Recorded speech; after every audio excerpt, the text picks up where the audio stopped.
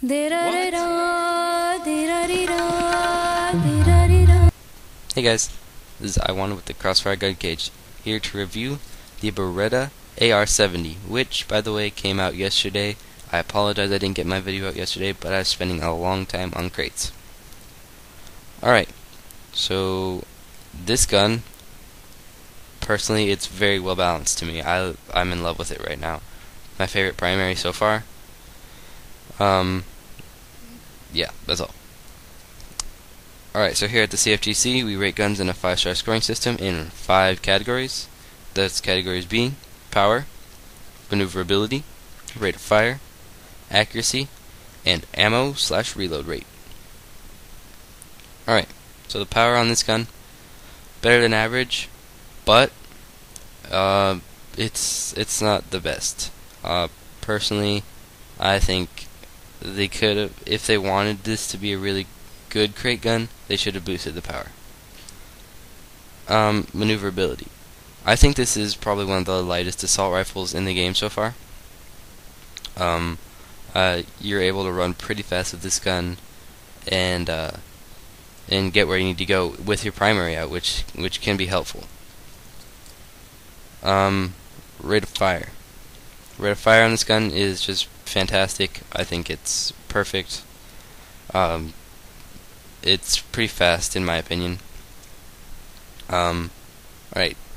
Accuracy. Accuracy on this gun probably gonna be its downfall. Um, you know, I don't I don't see this gun being a really good long long range weapon. Um, I think it's pretty accurate to medium and short, and that's it. But that's just me. Um, the ammo on this gun, ammo comes with 35 out of 105, which is a lot compared to most other assault rifles. You know, like 30 out of 90. Um, so that's always a plus. You know, if especially if you like to if you go through your ammo a lot and you have like this gun a high firing rate. All right, let's start scoring. Uh, the power gonna have to give it a four out of five. Not the not the best, but it's also better than average.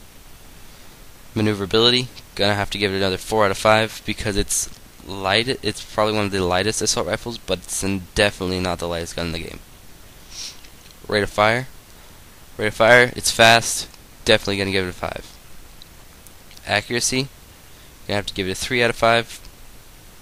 Ammo. Definitely a five out of five that equals a 21 out of 25, which is about an 82%. I'm not sure. Uh, it's somewhere in a B. As always, guys, please rate, comment, and subscribe. Uh, I'm I wanted. Thanks for watching. Uh, I had fun with this gun. You know. Um, I hope you guys, I, I wish you guys luck in winning the gun.